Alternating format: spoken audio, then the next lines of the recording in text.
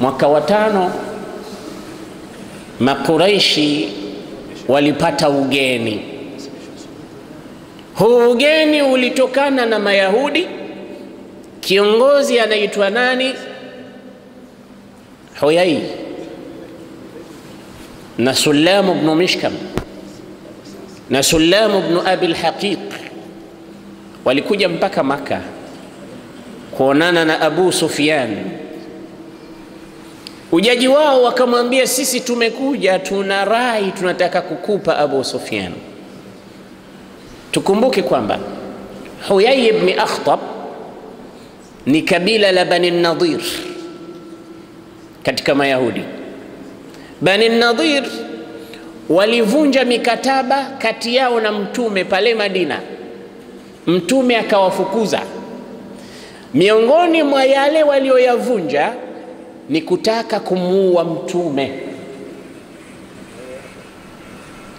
Na vitaja hivi vitu upate uwazi wa pale tunapoondokea, ili ufahamu nini ninaongea. Mayahudi aina tatu waliokuwa katika nchi ya Madina wote wamefukuzwa, wamebakia Mayahudi wa Bani Quraidha peke yao. Mayahudi wa mwanzo kufukuzwa Madina ni Banu Qainuqa, wamefukuzwa na Bwana Mtume kwa sababu ya kumvua nguo mwanamke wa Kiislamu aliyekwenda kwa sonara Myahudi katika soko ya Madina. Amekaa hana habari amekuja mtu nyuma yake amenyanyua baibui lake akalifunga na kilemba chake. Aliponyanyuka mwanamke wa Kiislamu akaonekana uchi wake, Mayahudi wakacheka. Wakati katiba ilisema watu waheshimiane, kila mmoja awe na dini yake, lakini kuwe na heshima kati ya watu wanaokaa, hakuna tabaka tabaka. Wakamvua nguo, wakaanza kuchekezana kucheka. Yule mwanamke akaona heshima yake imevunjwa, akapiga ukelele, akasikia Muislamu. Muislamu akaja kumsaidia mwanamke wa Kiislamu. Nini kimefanyika? Akampiga upanga Myahudi. Myahudi aliyepigwa upanga na yeye akawaita Mayahudi wenzake, wakamuua Muislamu, pakaanza vita vita ambavyo vilisababisha Bwana Mtume awafukuze Mayahudi kwamba mmeanza kufanya khiana, mmevunja katiba. Tulisema tuishi kwa amani, sasa hivi mmeanza kuivunja vifungu muhimu vya katiba, nayo ni kuhatarisha amani ya wanaokaa katika nchi ya Madina. Kwa hiyo lan tusakinuni fi madinati, nakupeni siku kumi, hameni. Wakaondoka Mayahudi wa Bani Kainuka, wakabaki Banu An-Nadhir na Banu Quraidha. Banu An-Nadhiri nao Mtume alipokuja kwao kuwaomba msaada. Kwa nini Mtume alienda kuwaomba msaada Banu An-Nadhir? Kwa sababu katiba ilikuwa inaongea kwamba letu ni lenu na lenu ni letu, yaani tutasaidiana katika jambo linalowahusu raia, tutasaidiana. Kwa hiyo mtume alikwenda kwa Banu Nadhiri kuwaambia, nimedaiwa dia, kuna mmoja katika wafuasi wangu amemuua mtu kwa makosa, kwa hiyo tutoe fidia kwa wale waliouawa mtu wao, nisaidieni na nyinyi kama raia wa Madina. Banu Nadhiri wakamwambia Mtume, usijali Abul Qasim kaa kitako pale, sisi tunakuletea unachokihitaji. Mtume sallallahu alaihi wasallam akakaa kitako pamoja na Abubakar na Umar, anasubiri hela ziletwe na Banu Nadhir. Wakakaa pembeni, wakasema, wallahi lan tajidu rajulan fi mithli halatihi hadhihi hamutompata tena mtu huyu Muhammad katika hali kama hii. Hii ni fursa ya kummaliza. Kaja hapa hana jeshi na watu wawili watatu, hana silaha, na sisi ndo adui yetu huyu. Kwa hiyo mkimwacha leo hamumpati tena. Ni nani atachukua uamuzi wa mara moja, apande juu ya nyumba amwangushie jiwe amuue? akatokezea Myahudi mmoja anaitwa Amr ibn Jahash, akapanda juu ya nyumba akachukua jiwe kubwa. Wakati anataka kulidondosha juu ya kichwa cha Mtume, Jibrili akawa mwanzo kushuka, akamwambia ondoka, wanakuua Mayahudi. Mtume akaondoka. Abubakar na Umar hawajui kunaendelea nini. Kufika Madina, bwana Mtume akachukua jeshi, twendeni. Abubakar na Umar wakaondoka kumfuata Mtume, wanakutana na jeshi linakuja. Vipi ya Rasulullah? Vita, hawa wanataka kuniua. Umepataje habari? Jibrili ameshuka ameniambia kuna mtu juu ya nyumba anajiwe, anataka kulimaliza. Walipokuwa wamezungukwa kutaka kupigwa vita, Abdullahi ibni Ubay ibni Salul, mnafiki yule, alimwambia Mtume, hawa ni jamaa zangu, kuna kitu kinaitwa halif. Halif ni wale watu ambao kama tukipatikana na shida sisi, wao wanatusaidia na wao sisi tunawasaidia. Kwa hiyo khulafau wa Bani Nadhir ilikuwa ni hawa akina Abdullah ibn Ubay ibn Salul katika kabila la Khazraj. Kawambia Muhammad, sikuachii kuwapiga vita hulafaa wangu, wafanyie ihsani. Ambia hawa wanataka kuniua, wafanyie ihsani wakafanyiwa ihsani. Bwana Mtume akawaachia akawambia, basi watoke katika nchi yangu, hatutochukua kitu chochote chao, waondoke zao. Kisa tumezungumza huko, narudia kidogo tupate madkhal.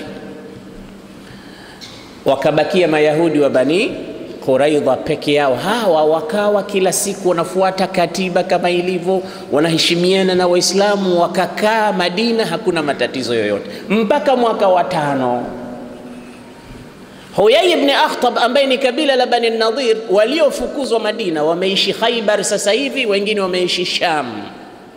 Wakaondoka wakaja zao Maka, wakamfuata Abu Sufyan. Abu Sufyan ndio kiongozi wa washirikina, wakamwambia sisi tushampiga sana Muhammad vita, lakini hatumwezi vita vile vya mmoja mmoja peke yake, jeshi dogo dogo, tumeshindwa. Kwa hiyo leo nataka tuunde ahzab, makundi, sio jeshi moja, juyush adida, majeshi wengi. Majeshi hayo lengo lake ni kumng'oa hasa Muhammad asiwe tena na dhikri katika ulimwengu huu. Tufanyeje sasa? Akaambia undeni jeshi.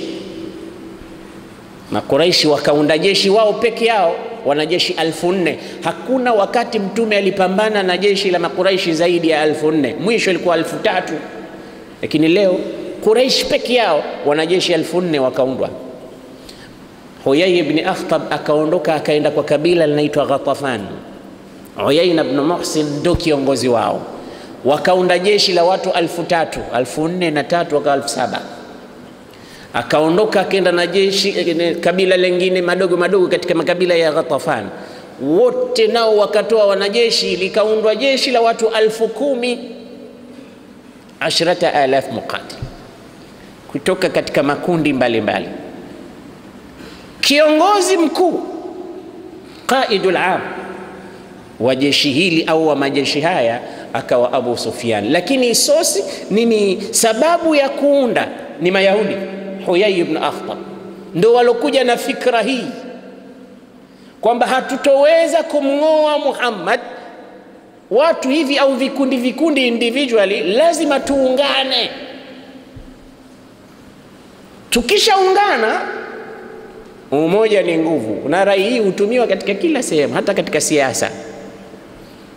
Mimi na yule na yule na yule na yule na ndio siasa zinavyopamba moto kila pahala. Wanasiasa wanajua hivyo, na hasa zikiwa siasa za ukabila kama kule Kenya, makabila yanatizamana, kabila gani ni kubwa kuliko lengine. Mi na wewe tukiungana tutapata wafanyi wapiga kura kadha. Wao hata wakiungana vipi hawezi kutushinda sisi, kwa sababu largest tribe kwetu sisi ni kadha kadha kadha. Wanapiga mathematics, unaona kweli wanafaulu kwa sababu ya kuungana. Na fikra kama hizi huwa zinatokea katika kila pahali. Sasa Mayahudi walikwenda na fikra hii, ukawambia bila ya kuungana sisi hatumwezi Muhammad, lakini dawa yake ni muungano, ndo ukaitwa ahzab. Ahzab yani makundi au vyama. Kisha suala likaulizwa, mushirikina hao wakawauliza Mayahudi, kwani nyinyi mnasemaje juu yetu sisi washirikina na Muhammad? Ni nani hasa mwenye dini ya kweli? Tizama, mushirikina wanauliza Mayahudi, wasema antum ahlul kitab, nyinyi ndo ahlul kitab, mnajua mambo mengi, mlisoma Taurat, mmesoma Injili, mnasoma vitu vingi, vitabu vilivyopita. Adinuna haqun am dinu Muhammad, dini yetu sisi ndo ya haki au dini ya Muhammad? Tujibuni nyinyi ahlul kitab mlokuja mnataka sisi tuundejeshe. Ahlul kitab wakasema dinukum ahda, dini yenu ndiyo ya kweli kuliko dini ya Muhammad.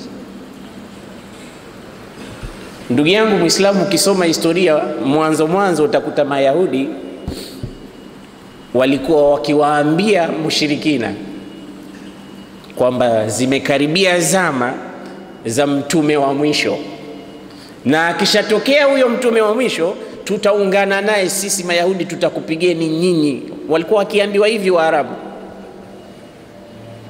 Tizama leo wanaambiwa dini yenu nyinyi ni ya kweli kuliko dini yake Muhammad. Ingelikuwa wamevuta fikra nyuma kidogo tu, wangeona hawa watu ni waongo. Si zamani mlikuwa mkituambia hivi nyinyi? Lakini fitna humfanya muongo mcha Mungu. Fitna ikishatawala na ule ubaya na uadui, mkweli huwa muongo na muongo akawa mkweli. Kwani Musailimatul Kadhab alikuwaje? Musailimatul Kadhab alidai utume baada ya bwana mtume Muhammad na akapata wafuasi Banu Hanifa, kabila lake. Wakaambiwa, kwa nini nyinyi mnamfuata huyu bwana? Wakasema, nahnu na'lamu annahu kadhab, sisi tunajua kwamba Musailima ni muongo, wa anna Muhammadan sadiq, na tunajua kwamba Muhammad ni mkweli, walakin kadhabu Rabia ahabu ilaina min sadiqi Mudar, muongo wetu ni bora kuliko mkweli wao. Umefahamu message hiyo? Maadamu katika kabila letu amesimama mtu anadai utume, tunajua ni muongo, lakini muongo wetu wa kabila letu sisi ni bora kuliko mkweli wao. Hivi ndivyo walipopata wafuasi Musailimatul Kadhab, na akawadanganya na wakawa wanamfuata na akiwa anawasomea na Qur'ani yake akidai kwamba anateremshiwa, alikuwa anasema ana Jibrili wake pia anamshukia. Jibrili wake alikuwa akiitwa nani? Ar-Rahman. Anasema huyu ndiye anayenijia akanipa aya za Qur'an, na watu wanaamini. Abu Bakri alipotawala, alipochukua ukhalifa, aliwaambia Banu Hanifa, hebu nisomeeni kidogo Qur'ani mliokuwa mkisomewa na na Musailima. Mmoja wao akawa anaona haya, akasema nisomeeni. Abu Bakari, bwana, inachekesha tu, hamna kama nisomeni, nataka nisikie. Sinasikia alikuwa na wahi. Mmoja akasema, anasema alikuwa na aya inasema, inaitwa suratul Fil, anasema alfilu malfil wama adraka malfil lahu khurtumun tawilun wa dhanabun wabil, yani tembo ni nani? Tembo anapua refu na mkia mfupi.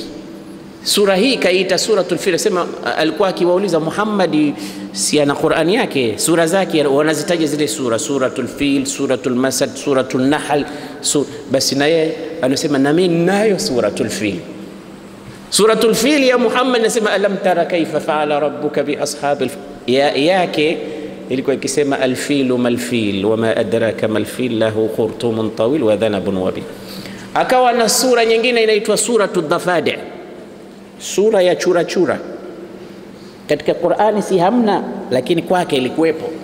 Sema ya dhafdau bintu dhafdaaini, ewe churachura chura, mwana wa chura wawili wa kike na wa kiume. Nuqi au la tunaqina, gonga, yani toa sauti au usitoe.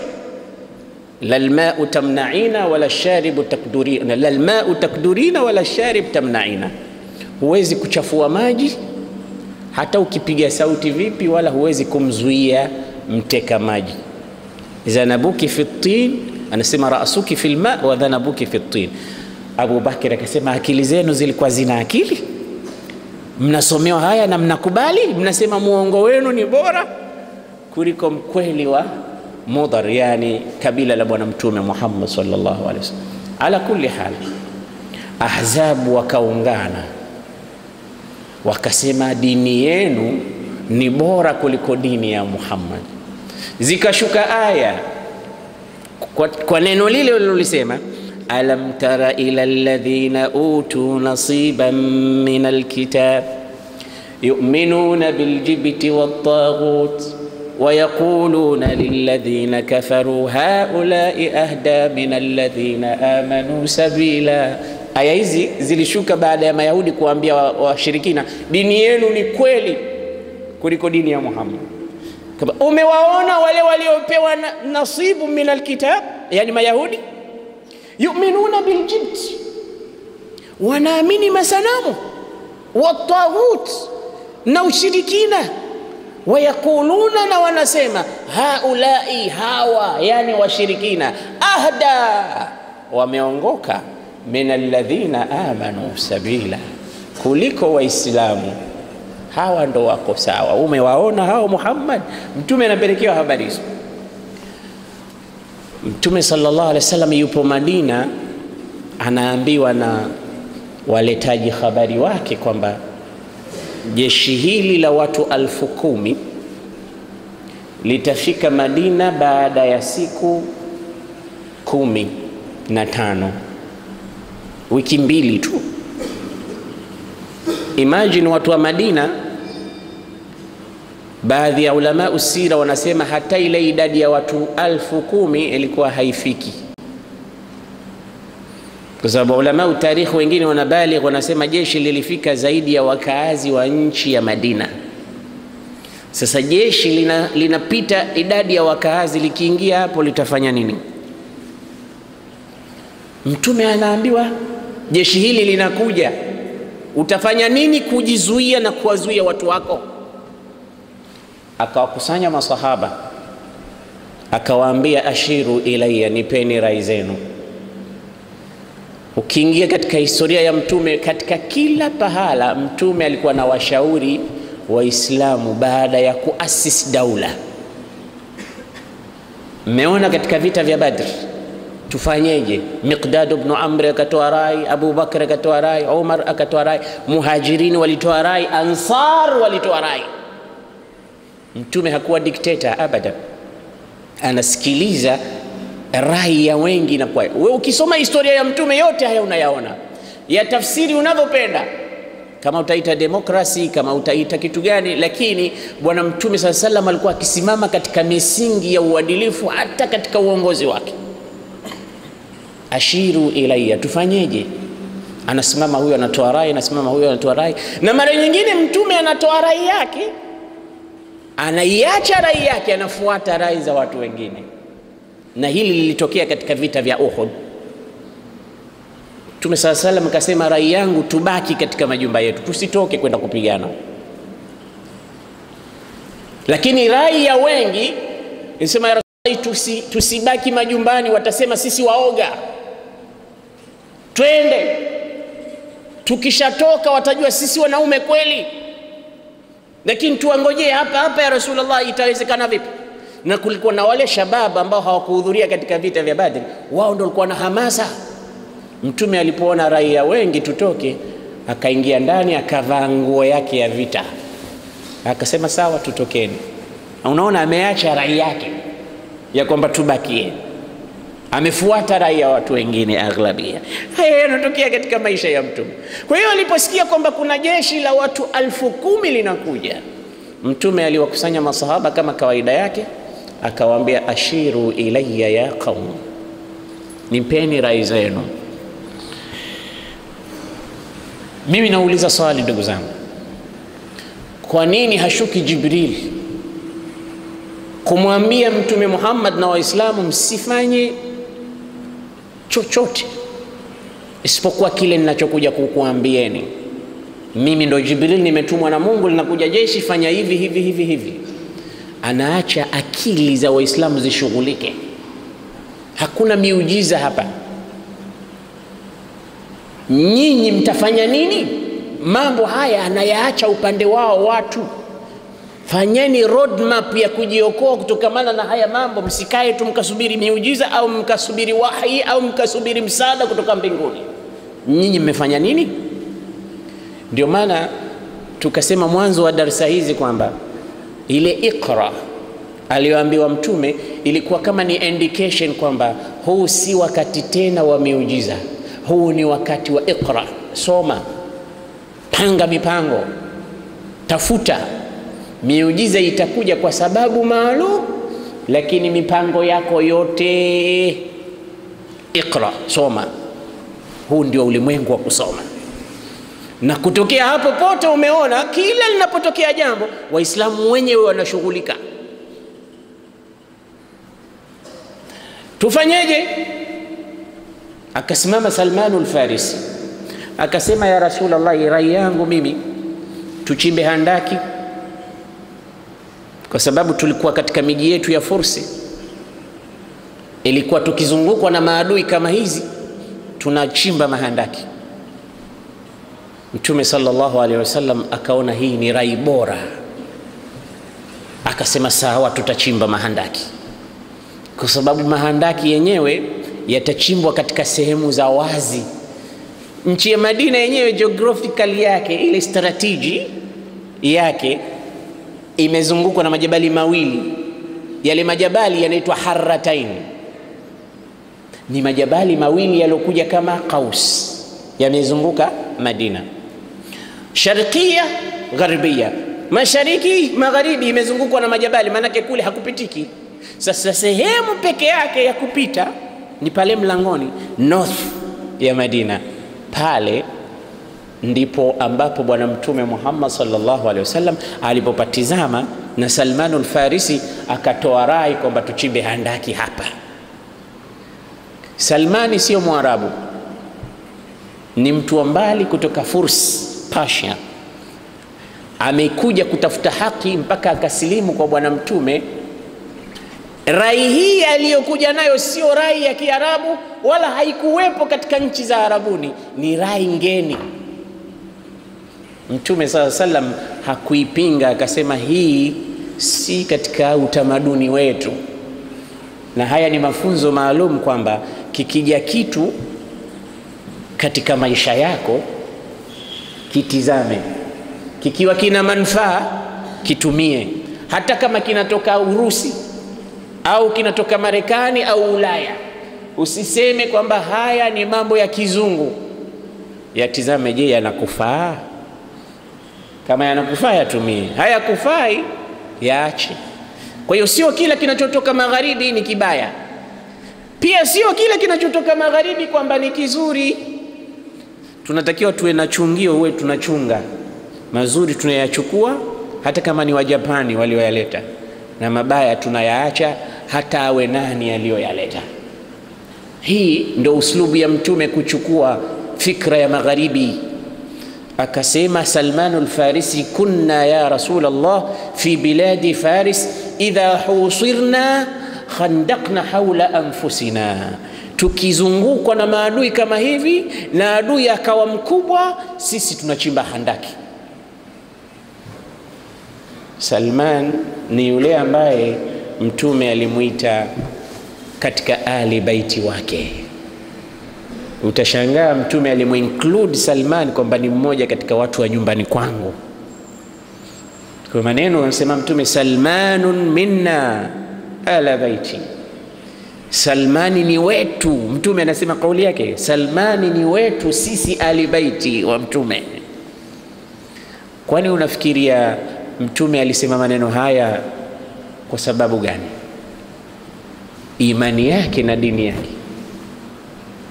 Lakini katika watu wa Mtume wapo waliotolewa kama Abu Lahab, akaambiwa tabbat yada abi lahabin wa tabba ma aghna anhu maluhu wa ma kasab sayasla nar anaingia Salman anatoka Abu Lahab, tena ami yake Mtume Muhammad. Imani, imani ndiyo umpandisha mtu cheo. Akiitwa Salman, anaulizwa ibnu man anta ya Salman, ni mwana wa nani wewe Salman? Hujulikani, huna kabila, huna koo. Alikuwa akisema Salman ibn lislam, mimi ni Salman mwana wa Uislamu. Na ndio maana Mtume aliposikia watu wanamtuhumu tuhumu hivyo, akasema Salmanu minna, huyu ni katika ali baiti wangu Salman. Mshairi anasemaje? la amruka mal insanu illa ibnu dinihi, Muislamu ni yule mwenye dini fala tatruki taqwa tikalan ala nasab, usiache ucha Mungu kwa kutegemea koo na nasaba na kabila. Usiache kufanya ibada ukategemea mimi kabila langu tukufu. Faqad rafaa alislamu Salmana Farisin, hakika Uislamu umemnyanyua Salman Farisi. Wa hutta bishirki nasibu Abu Lahab, na umemdondosha mtu wa nasaba na mtume Abu Lahab. Abdul Uzza ibn Abdul Muttalib ibn Hashim ibn Abdi Manaf kama Mtume Muhammad sallallahu alaihi wasallam. Likachimbwa handaki, ndugu zangu, Mtume akagawa group ishirini na nane, kila watu wakapewa nafasi ya kuchimba handaki. Handaki ilikuwa na urefu wa kilomita nne na nusu, yani baina hara sharqiya wa gharbia pale pahala palipokuwa na uwazi pale ambapo ndipo patakapokuwa ni main gate washirikina kufika pale, pakachimbwa handaki urefu wa kilomita nne. Upana wake ilikuwa ni dhiraa tisa. Dhiraa ni hizi, upana wa handaki ilikuwa na upana wa dhiraa tisa. Nini kina chake ilikuwa na u, u, upa, e, urefu wa mita tano. Maanake ukiingia wewe ni tabu kutoka, na kunawekwa miba huko, mawe makali, ukidondoka kule unakufa. Hii ni plani ya Salman al-Farisi, kana kwamba Mungu kamtoa Irani huko kwa safari ndefu. Tulimzungumzia kisa chake cha kusilimu hapa akapigwa bei njiani, akapata matatizo mpaka kufika kwa Bwana Mtume, kana kwamba Mungu amemleta maksudi kuja kuprotect Madina. Ghazwatul Khandaq ni vita vikubwa, lakini ni vita zaidi vya fikra, na lau wangetekeleza matakwa yao leo hapa Masjid Nur Muhammad wala tusingekuwepo, kwa sababu jeshi lingefanya destruction ya hali ya juu, lakini Salman al-Farisi akatoa rai na Mtume saa salam akaikubali, likachimbwa handaki. Ndani ya siku saba tu handaki lilikuwa limeshakamilika. Wakati Mtume anachimba handak, ilitokea maajabu, miujiza. Miongoni mwa miujiza iliyotokea, Bwana Mtume sallallahu alaihi wasallam alikuwa na njaa sana na Waislamu wote walikuwa na njaa na Madina nzima ilikuwa, kwa sababu ukishapata hamshughuliki tena, biashara hakuna, njaa inaingia. Kwa watu wakati wanachimba hakuna chakula. Imefika pahala Bwana Mtume sala salam anaonekana mbavu namna zilivyokamatana, tumbo lilivyoingia ndani, mpaka Jabir ibn Abdillahi akamhurumia Mtume, akenda nyumbani Jabir akamuuliza mkewe, kuna chakula chochote angalau cha kumtosha mtume tu? Nimeona hali ambayo haiwezi kustahamilika. Mke wake akamwambia, kipo chakula kidogo. Kaambia basi andaa.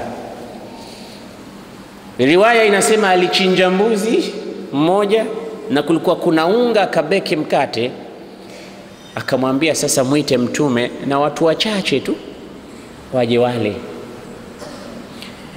watu wanachimba huko na wanafiki wakawa wanaondoka, ni wavivu wa kazi, na pembeni kule wanasema tizameni, waoga hawa. Umeshasikia jeshi linakuja, wanachimba mahandaki, wanaogopa. Kama nyinyi mashujaa, simuachie waje. Wanafiki wamo ndani ya Waislamu,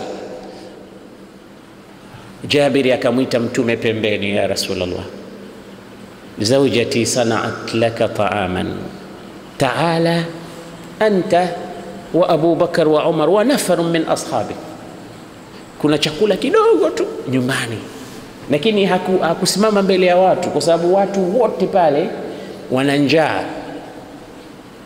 sio heshima, maanake chakula kitawatosha nafarun qalil. Asema ya Rasulullah, kuna mlo nyumbani kwangu, utakuwa unawatamanisha na wale watu, ndo anaenda peke yake, na mtume aondoke, awaache masahaba zake pale, itakuwaje? Sio picha nzuri. Kwa hiyo amemwita pembeni, unasemaje Jabir? Si kuna chakula kidogo nyumbani, njoo wewe na watu wawili watatu. Sema Jabir, nitakwendaje mimi kula peke yangu? lam akun liakul wahdi hapa kuna zaidi ya watu mia tatu watu wote, jeshi pale lilikuwa zaidi ya alfu na mia tano lilikuwa linachimba mahandaka. Niondoke niwaache wote hawa peke yao? Jabir akaambia sasa itakuwa chakula hakitoshi isipokuwa watu wachache. Akaambia nenda usiondoe chakula kwenye jiko mpaka nifike. Hajaondoka Jabiri, mtume akapanda katika jabali pale. Katika handaki kulikuwa kuna jabali linaitwa Jabalu Sila. Hili jabali handaki ilichimbwa mbele yake, akasimama akasema, ya ahla alkhandaq ya ma'shar almuhajirin ya mashara alansar inna jabiran sanaa lakum at-ta'ama fahayya ala. Sikiliza huo mwito wa mtu, anawaita ansar, anawaita muhajirin, anawaita watu wa khandak anawambia Jabir ametengeza chakula, njoni twendeni tukale. Kumbuka kwamba chakula chenyewe ni mbuzi mmoja, watu wa Handak ni watu alfu na mia tano. Vipi watakwenda kula chakula mbuzi mmoja? Jabir kusikia ukelele ule aliopiga Mtume akarudi, kaambia Rasulullah, kamkamata mkono hujasikia vizuri ya Rasulullah, wewe tu na watu wachache, mbona unaita watu wote? Itawafanya nini miao? Kaambia we nenda, usiondoe sufuria jikoni mpaka mimi nije. Kufika nyumbani, anamwita mkewe, adrikini, njoo nipatilize, aibu aibu leo mke wangu. Nini? Akaambia Rasulullah anakuja na jeshi lote la Handaki kula chakula. Kwani wewe umemweleza nini? Mimi mwambia aje yeye na watu wachache, hajanisikia vizuri, labda jeshi linakuja. Akamwambia, akakwambia kitu chochote baada ya hapo? Akasema naam. Akasema chakula usikiondoshe jikoni. Mke wa Jabir akamwambia, basi maadamu kasema hivyo, wewe usiwe na wasiwasi. Kakwambia hivyo na kasema usiwe na wasiwasi. Katika sira ya Mtume, kila kipande unachokizungumza utaona athari ya wanawake na huyu mwanamke alikuwa anaonyesha ukomavu wa imani yake, vipi amemwamini Mtume Muhammad sallallahu alaihi wasallam, kitu kikubwa. Kamwambia usiwe na wasiwasi, maadamu anakuja na jeshi hilo, na kakwambia usiondoe, usiwe na wasiwasi. Kafika pale Mtume saa salam akawaambia, udkhulu wala tazdahimu, ingieni kumi kumi msifanye vurugu. Nini? Kwa nini nawaambia msifanye vurugu? Sababu watu wenye njaa unawajua We Kule harusini unaweza ukaona vituko, mtu mzima anaweza akaaibika kwa sababu ya biriani, lakini hapa Mtume anajua kwamba kuna njaa. Udkhulu wala tazdahimu, kimya, msisongamane kumi kumi wanaingia. Mtume ameingia jikoni, amekata mkate, amechukua na mchuzi, anatia nyama, anaweka, wanakula kumi, wanatoka, wanaingia kumi wengine. Jabir kasimama mlangoni hivi, anatizama, anawatizama kumi wameingia, wakitoka anawafuata, anawauliza ashabitum, mmeshiba kweli? Alhamdulillah, tumeshiba. Anachungulia chakula, anaona bado mtume anagawa, wote watu wa Khandak walikula kikabaki ya chakula. Mtume akamfuata Jabir na mkewe, akamwambia Jabir, kuleni kilichobaki na kingine mtoe sadaka kwa maskini. Chakula hicho kililiwa kikabaki. Hii ndo inaitwa baraka, na hii ni miujiza. Miujiza hutokea nadra kuwaonyesha watu kwamba Mungu yupo na mtume wake, lakini mambo mengi kuachieni wenyewe mufanye. Kwa nini miujiza haikuja handaki likachimbika kwa miujiza tu, watu wakatumia mikono yao kwa muda wa wiki nzima? Mungu anataka wewe umefanya nini? in tansurullaha yansurkum wa yuthabbit aqdamakum. Watu wakala wakarudi kazini, wakati wanachimba handaki, kuna jiwe moja sugu likuwa halivunjiki, watu taabani tena wamechoka. Hapa ndipo ilipokuja uslubu ya kuwaraghibisha watu kufanya kazi. Hassan ibn Thabit na Abdullah ibn Rawaha hawa ni katika washairi hodari wa Bwana Mtume, wakaona kazi imekuwa nzito, wakaanza kutoa baadhi ya sauti nzuri za mashairi zikiwapesisha watu kufanya kazi ya kuchimba handaka. Mmoja akatoa akasema, nahnu alladhina bayau Muhammadan ala aljihadi ma baqina abadan. Watu wakawa wanaimba nahnu alladhina bayau Muhammadan ala aljihadi ma baqina abadan, huku wanachimba nyundo, miwal, jembe, kazi inakuwa nyepesi. Mwingine akaimba akasema, allahumma laula anta mahtadaina wala tasaddaqna wala sallaina. Abdullah ibn Rawaha, faanzilan sakinatan alaina wathabbit alaqdama in laqaina inna alula qad baghaw alaina idha aradu fitnatan abaina. Ikawa mtume anasikika yeye kule mwisho kwenye kibwagizo, ndo mtume anakamata yeye akisema nahnu alladhina bayau Muhammadan, na yeye anaitikia Muhammadan على الجهاد ما بقينا ابدا ابدا. اللهم لولا أنت ما اهتدينا اهتدينا ولا تصدقنا ولا صلينا صلينا. متومنا ماليزيا. سيدنا عمر البسكي watu wanaimba ikawakazia macho naimba alipomsikia mtume yeye mwisho mwisho na yeye anaunga عمر نايا كاونغا. صلينا صلينا فأنزل السكينة علينا علينا Fani hii ndio art ambayo watu wanaizungumzia leo, lakini fani ambayo inawapotosha watu haitakiwi katika Uislamu. Fani ambayo inaharakisha shahawa na vijana wakavaa suruali chini ya makalio, wakaweka herini, wakavaa cheni. Fani aina hizi na hizi tunazozungumza ni tofauti. Tizameni fani, mwanadamu ana, anakuwa ni mtu wa fani, mashairi mazuri, nyimbo tamu na nzuri. Angalia sotfa, na sio hapo tu, kaja mtu anaitwa Juail, jina baya.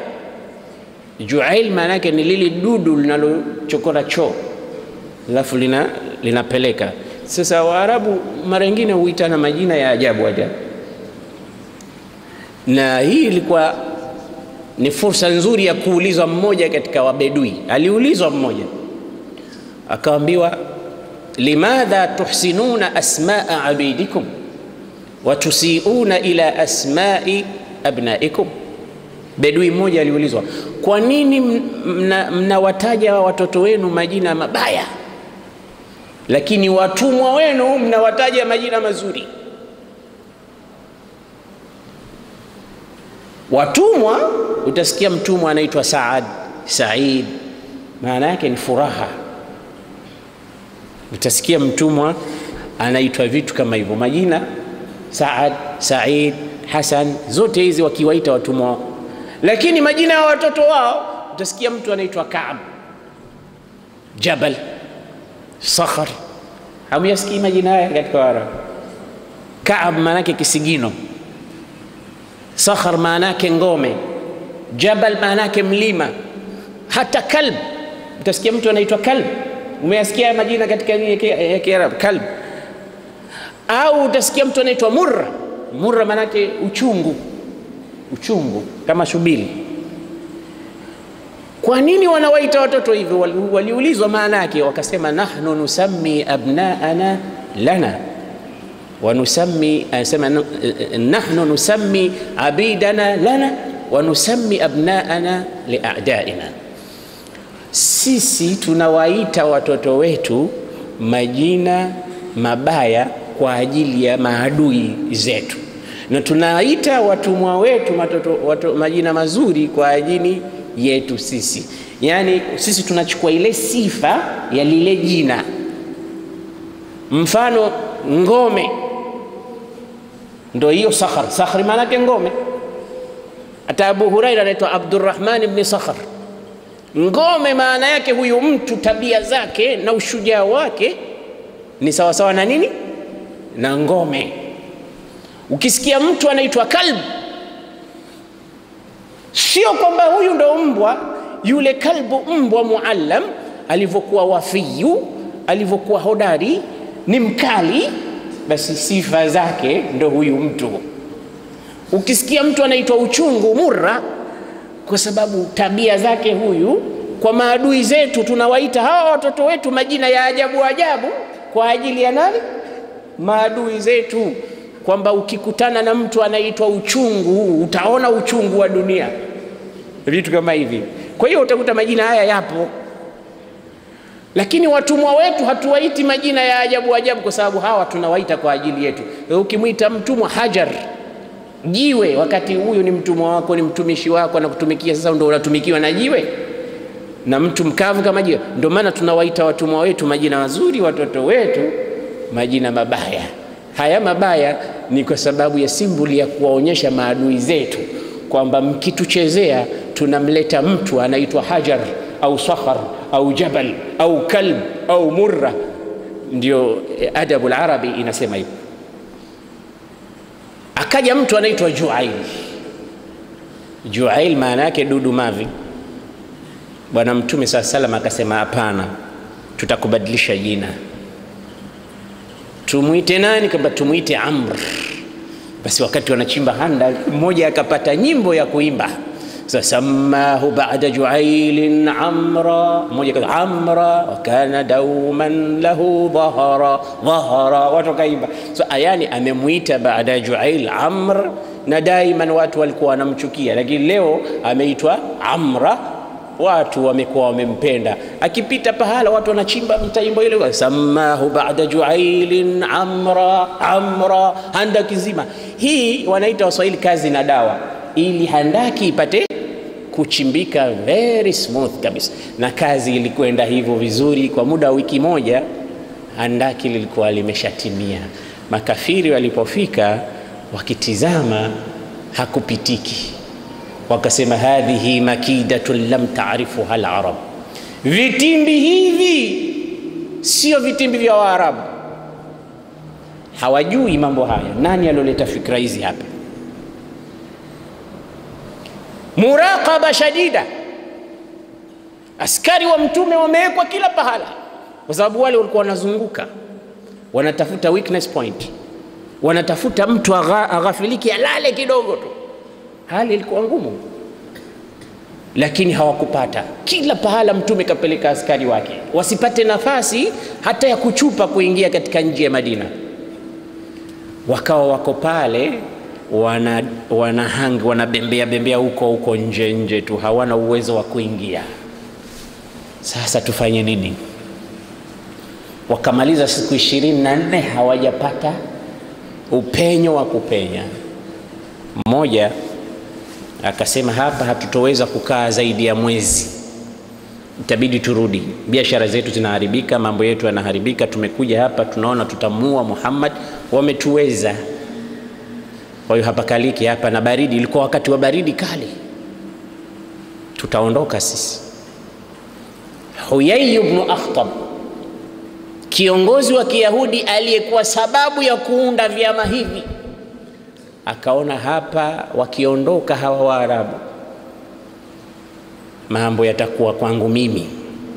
Muhammad alinifukuza na sasa amepata habari kwamba nimeunda Ahzab na nimefeli. Wakirudi zao hawa, nitafuatwa huko huko tena, nitakuwa tabu hapa. Sasa kama sijafanya jitihada ni niwazuie hawa wasiondoke, balaa itakuwa kubwa. Abu Sufyan anasema bwana, ikiendelea hivi sisi tunaondoka. Huyai ibn Akhtab akafanya mipango aingie zake Madina, akaweza kuingia Madina. Ndani kuna Mayahudi wa Bani Quraidha waliokuwa wamekamatana na mkataba bado hawajamkiuka Mtume, watu mia saba wote ni wapiganaji hodari na wana silaha. Huyai ibn Akhtab akaingia Madina kumfuata kiongozi mkuu wa Mayahudi walio ndani ya Madina walio na mkataba bado na Mtume, anaitwa Asad ibn Kaab. Gonga nyumba, nani? Ana Huyai ibn Akhtab. Ukhruj ya Kaab, njo toka, kuna nini? Akaambia, laqad jituka biizzi dahr wa bahrin tam Njoo nikupe habari njema, nimeleta izzi dahr, yani utukufu wote, ushindi wote, ukubwa wote wa ulimwengu nao mimi. Jitu biquraishi wa qadatiha, huko nje ya Madina, mbele ya handaki, kuna viongozi wote wa Makuraishi. Tumekuja kumpiga Muhammad. Hii ni fursa. Nyinyi mko hapa Madina mnaishi na huyu mtu lakini si mzuri. Firs, fursa ya pekee ya kummaliza ndo hii tu. Unganeni na sisi, nyinyi mko ndani hapa. Kaab akasema wallahi laqad jitani bidhulli dahr, umenijia na udhaifu na udhalilifu wa ulimwengu mzima. Usinifitinishe na Muhammad, yuko ndani ya nyumba yake, hafungui mlango ma raaitu min Muhammadin illa wafaan wa birra, sijaona kutoka kwa Muhammad isipokuwa ukweli, uaminifu. Wa innani la a'lamu annahu nabii, mimi simwamini lakini najua kwamba ni mtume. Kila siku tunaishi vizuri na yeye, usinifitinishe. Akamwambia bado fungua basi nikuambie. Nikamwambia sifungui, fungua, sifungui, maneno yale mpaka akalainika. Kaba akatoka, unasemaje? Kamwambia bwana, hii ndo fursa. Hapana, si tuna mikataba. Ni mikataba kitu gani? Chaneni mikataba hiyo, fursa ndo hii ya kummaliza Muhammad. Mpaka akakubali Kaba, akachukua mikataba ile e, sahifa ya bwana mtume, akachana, akatupilia mbali akamtukana Mtume. Mtume yuko kwenye handaki, akasikia habari, uvumi kwamba ndani ya Madina sasa kumetokea jeshi lengine jipya, watu elfu kumi nje na hawa mia saba wamekuwa alfu kumi na ngapi na mia saba. Oho, zada tinu billah, wanasema udongo umezidi maji. Hapa ndipo wanafiki walipoanza kutoa maneno, wakamwambia Muhammad, umetudanganya eti tutafungua miji ya Kisra na Kaisar. Hapa tunashindwa kwenda chooni, mtu anataka kwenda haja hawezi. Mayahudi wanakuja hao, na Mtume alikuwa amewaweka wanawake na watoto wadogo katika ngome maalum kwamba vita vikiingia wasidhuriwe. Mayahudi waliovunja mikataba na mtume wakawa sasa nao wanajiandaa kumpiga mtume ndani ya nchi kama anavyotaka kupigwa nje ya nchi. Na hapa ndipo Qur'ani ilipotoa ile kamera ya Qur'ani inatupa habari halisi. So, ya ayuha alladhina amanu dhkuru ni'matallahi alaykum, katika suratul Ahzab. Na hii sura imeitwa Ahzab kwa sababu ya hivi vyama na haya majeshi. udhkuru ni'matallahi alaykum idh ja'atkum junudun fa arsalna alayhim rihan wa junudan lam tarawha الله بما تعملون بصيرا إذ جاءوكم min أسفل wa min asfala minkum, enyi Waislamu, kumbukeni neema ya Mwenyezi Mungu kwenu. Mlipoona jeshi limekuja, Mungu akawakinga. Na jeshi hilo lilikuja kutoka juu na chini. Juu manake washirikina na chini manake Bani Quraidha izzaghatil absar wa balaghatil qulubul hanajir, macho yenu yakaanza kuzunguka kwa hofu, na nyoyo zikawa zinakaribia kuchomoka katika sehemu yake kwa hofu. Watadhununa billahi dhununa, na mnamdhania Mungu mabaya. Sasa idh yaqulu taifatun minhum, idh yaqulu alladhina kafaru, wale wanafiki walikuwa wakisema idh يقول المنافقون والذين في قلوبهم مرض ma waadana Allahu wa rasuluhu illa ghurura. Wanafiki wanasema Mungu na mtume wake ni waongo, wametudanganya, wametuahidi kufungua kunuzi Kisra na Kaisar, lakini angalia hofu tunayoipata. Ikafikia pahala hofu imetanda, kiza, njaa, baridi, ikawa matatizo makubwa. Mtume akatuma Saad ibn Muad na Saad ibn Ubada kwenda kuklarify habari, kweli wamevunja mikataba? Akawaambia, mkifika mkijua ni kweli habari hizi, mkija msiseme mbele ya watu, niambieni kwa mafumbo kama wamevunja mikataba. Ikiwa ni uongo, mkija hapa zungumzeni mbele ya watu wote wapate kusikia, maanake watu wajue ile maanawiyatul jaishi ipande kwamba sio kweli. Akaenda Saad ibn Muadh na Saad ibn Ubada, walipofanya observation wakakuta ni kweli wamevunja mikataba. Mayahudi waliobaki wa pekee wa Bani Quraidha wamechana chana sahifa ile ya mtume inayosema tukae kwa amani, hamna upuzi. Mtume Muhammad hana utume wowote na wanatukana. Saadi anataka kupigana, mwenzake anamwambia la, hapa kuna zaidi ya kupigana, waachie twende tukamwambie mtume kwamba huku wamevunja mikataba. Wakaja wakampa mtume signal kwamba mikataba imevunjwa. Mtume akajiinamia chini, akawa anawaza, akachomoka na takbiri, Allahu akbar. Watu akashtuka, mbona mtume kapiga takbiri? Mtume hataki kuwavunja moyo. Allahu akbar, abshiru binasrillahi wa fathi, furahini, Mungu anakuleteni ushindi, anawaambia Waislamu. Kamanda anatakiwa kuwa hivyo, sio akipata misukosuko kidogo, jamani, ya tumekwisha, tumekwisha, tumekwisha, tumekwisha. Hapana, wape nguvu eh, wape hope watu wako. Anasema, Anasema if you lose hope you lose everything. Ukikosa hope, matumaini, umekosa kila kitu. Waambie tutashinda. Mtume aliposikia habari za kule alisema hasbi Allahu wa ni'mal wakil. Ina maana mambo yalizidi, na Qur'ani inasema zaghatil absar wa balaghatil qulubul hanajir, nyoyo zinakwenda mbio, hofu kila mmoja, lakini mtume anatoa maneno ya matumaini, abshiru binasrillahi wa fathi, mtashinda.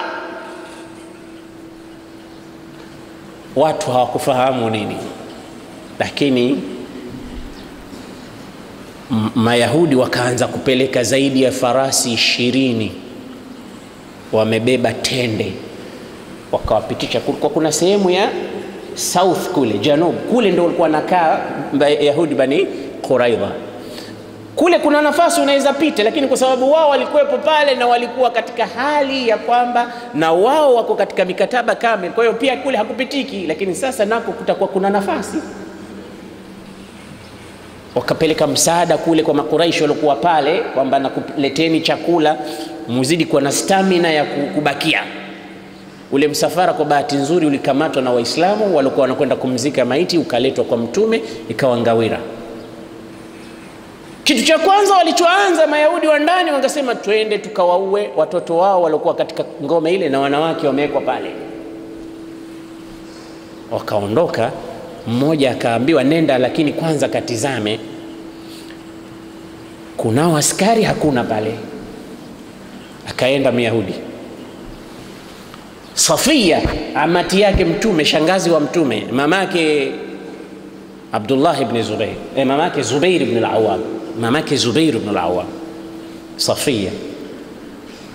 Akaona mtu anakuja, na halikuwa hakuna mtu mmoja mpiganaji, ni wanawake watupu lakini walikuwa na mwanamme mmoja tu ana, kama anawalinda Hassan ibn Thabit ambaye yeye alikuwa hajui, yani sio shujaa wa kupigana, alikuwa shujaa wa kusema,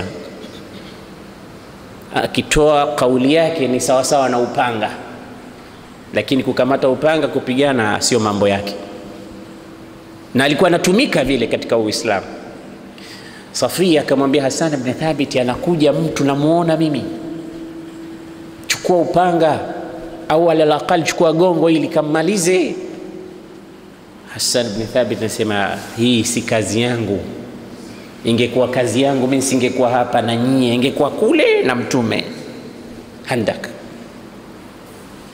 Bwana anakuja huyo, ikija hapa itakuwa hatari, atajua kwamba hakuna watu, lakini ukimfesi huyo atajua kwamba kuna wanaume, hatuko peke yetu, angalau tu ajue kwamba kuna watu. Hassan bin Thabit anasema mimi siye. Mwisho Safia mwenyewe amati yake Mtume akachukua gongo akamvizia Myahudi yule, wakati anachungulia chungulia, alishtukia gongo la kichwa moja tu, akafa pale pale.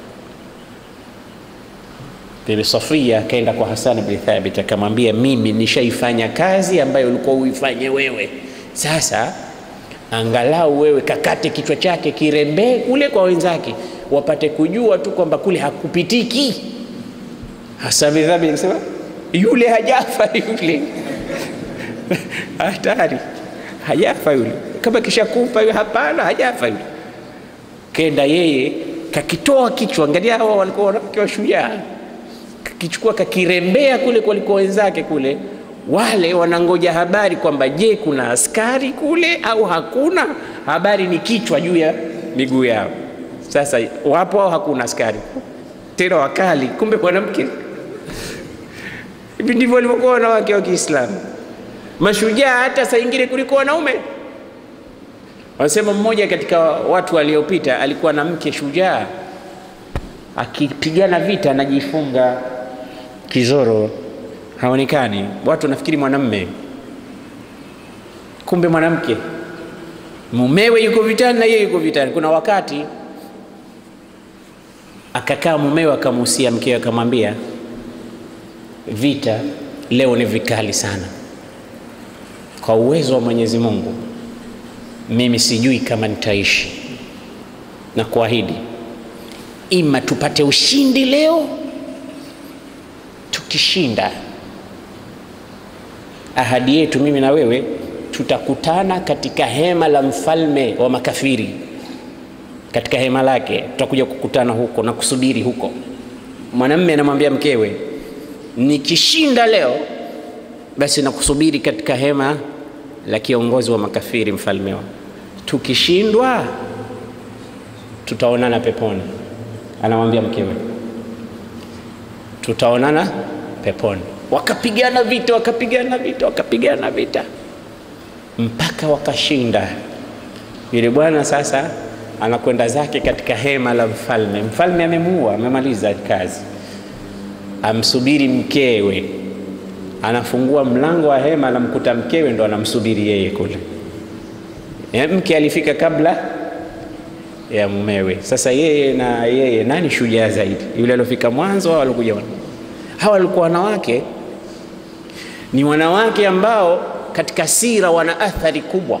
Bibi Safia akachukua kichwa kakirembea kule, Mayahudi wakajua kule hakupitiki. Wakati sasa jeshi la Mtume limeanza kupata habari la uhaini wa Bani Quraidha, Mtume sallallahu alaihi wasallam anamwona mtu anaitwa Nuaim ibn Mas'ud. Huyu Nuaim ni katika kabila la Ghatafan.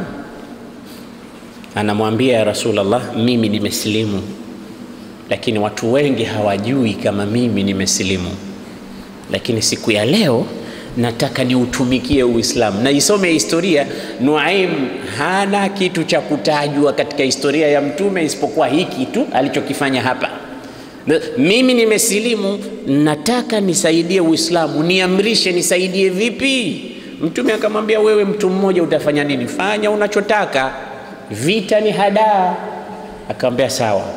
Nuaim ibn Mas'ud akaenda zake kwa Bani Quraidha, hajulikani Uislamu wake, wale Mayahudi waliovunja mikataba. Akawaambia, nyinyi hivi vita si vyenu, hivi vita ni vya makafiri, nyinyi mmejiingiza lakini si neno.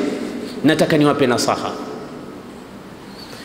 Mayahudi, mushirikina, mkiweza kuungana mkapigana mkashinda, sawa, lakini kusipotokea vita hapa, wale watakukimbieni, watakwenda zao Maka, mtabaki nyinyi hapa.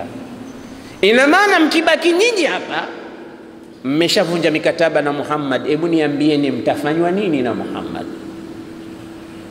Jamaa anasema kweli, jamaa anazungumza point huyu, na ukitizama kweli, ikiwa hakutotokea vita, wale wataondoka, watabaki hawa hawa, wako ndani ya nchi. Kwa hiyo mtume atageuza mgongo tu kuja kupambana na hawa.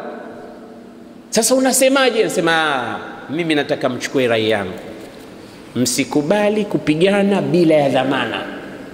Waambieni wa Quraish, tuleteni katika watu wenu wakubwa wakubwa wale, tuwakamate kama rahani, dhamana yetu, kwamba iwapo litatokea lolote watakuwa pamoja nasi, kwa sababu nyinyi mnaweza mkatuacha mkaenda zenu mkatuacha na Muhammad, balaa likatuangukia sisi.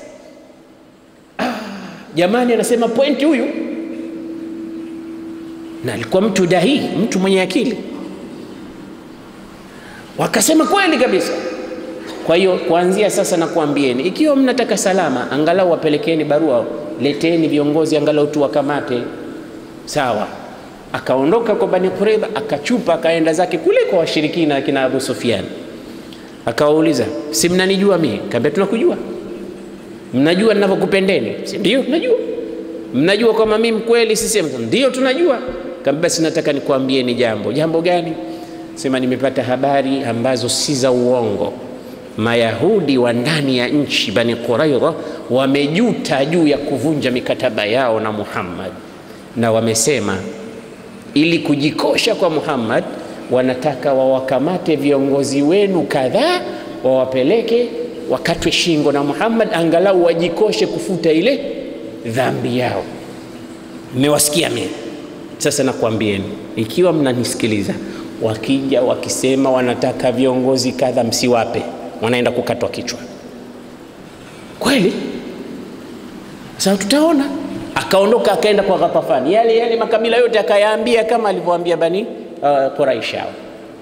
Baadaye akakaa kitako, muda mchache umepita, Mayahudi wakapeleka barua kwa Abu Sufyan, bwana sisi ndo tunajua hapa Madina shari za hawa watu.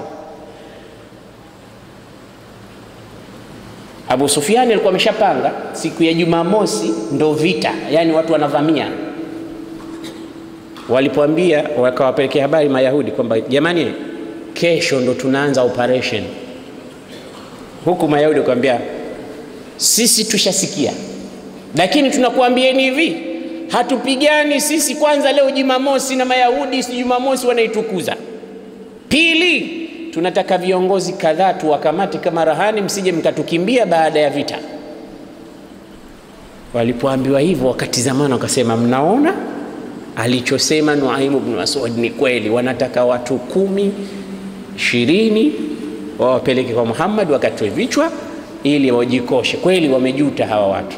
Abu Sufyan kapeleka jawabu hatuleti kiongozi hata mmoja, mnataka piganeni, hamtaki basi.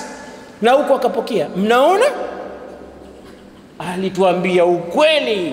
Nuaim bin Masud akaanza ku create problems kati yao, farriq tasud. Hii siasa inaitwa divide and rule, wagawe upate kuwatawala, wagombanishe, wapiganishe, wako napigana, wewe unawatawala. Sasa hii ni, ni, ni, ni hadaa inayotumika katika ulimwengu mzima na kuwashughulisha watu. Tizama, wanasema Nuaim katuambia ukweli, na hawa wanasema Nuaim katuambia ukweli. Hawa wanasema wallahi nilijua mimi, Hawa hawana ahadi, na hawa wanasema sisi tulijua. Wanalaumiana. Mwisho Makuraishi hawa wakaamua kuondoka, wanasema baridi na tukumta hapa hatuna kheri yoyote tuliyoiona tokea tumekuja. Riwaya zinasema walikaa siku ishirini na tano, nyingine zinasema arobaini na tano wako pale, hakuna mpenyo wa kuingia. Waliamua wao wenyewe kufanya baadhi ya visa vilivyotokea kama kuruka ukuta, kuruka handaki. Amr ibn Abdiwud aliyeuawa na Saidna Ali ibn Abi Talib, Ikrima ibn Abi Jahl, Khalid ibn al-Walid na wengineo ambao hakukupiganwa vita vya hivyo, mwisho wakaamua insihab, waondoke. Bwana Mtume sallallahu alayhi wasallam, wakati jeshi lile linataka kuondoka, alikuwa anatadhara kwa Allah, anaomba dua. Isikilize dua ya Mtume, Allahumma astur auratina wa amir rawatina, Allahumma ya mujri as-sahab wa ya sari' al-hisab ihzimhum ya Rab, ewe mwenye kupeleka mawingu, mjuzi wa hisabu Ewe Mwenyezi Mungu mtukufu mwenye kuhasi viumbe wake wote, washinde makundi hawa. Bwana Mtume Muhammad dua hii alikuwa akikariri, hasbunallah wa ni'mal wakil, ahzimu lahzab zalzilhum fi aqdamihim. Zote dua hizi akiziomba Mtume saa salam. Baada ya muda anamwambia Sayyiduna, anawaambia masahaba, ni nani atakayekwenda akaniletea habari zao aondoke huku aende upande wa pili aniletee habari za Makuraishi. Kila mmoja anatizama, ina maana tuvifuate huko huko vita. Nani atakaye kwenda? Kimya. Abubakar, Umar, masahaba wakubwa wote wapo, hakuna aliyosema hata mmoja niko tayari. Mwisho Mtume akaongeza zawadi akasema man yatini bikhabari lqaumi wayakunu rafiqi fi ljanna, ni nani atakayeniletea habari zao na atakuwa pamoja nami kesho peponi. Hakuna alosimama, sio mchezo. Zaghat labsar, Qurani inasema balaghat lqulubu lkhanajir, watu wote wameingiwa na hofu. Mtume anasema hata hivyo pia hakuna aliyesimama. Mwisho Mtume akasema qum ya Hudhaifa Simama we Hudhaifa, kamtaja kwa jina. Hata Hudhaifa mwenyewe anasema wallahi, asingenitaja kwa jina Mtume nisingenyanyuka. Kanitaja, hakuna budi kumtii Mtume, nimenyanyuka. Haya ya Rasulullah, nishasimama. Nenda kaniletee habari zao, wala usifanye kitu chochote. Hudhaifa akasimama, akaondoka kwenda kuleta habari Anasema nikifika kule, baridi iliyokuwa kule ni tofauti na baridi iliyokuwa huku.